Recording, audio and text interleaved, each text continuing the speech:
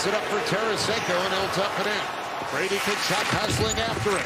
Kuemper out of the goal. He's caught up now with Tkachuk trying to poke it loose. In comes Pinto right in front.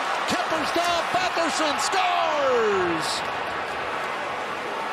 Drake Batherson had to wait out. Kuemper made sure he had the open part of the net, and he fires it in, and Ottawa's on the board. Nothing, and right here, a big part of it is the dump. Tarasenko just lays it in. I think it got a bit away on him. I think he was looking for a softer dump, but Kuemper goes out as everyone's coming together at the same time. Alexeyev and Tkachuk, they get in the way. The puck gets kind of knocked down, and then right there, Pinto steps in, keeps the puck alive. That allows Tkachuk to get it back out in front. Batherson locates it.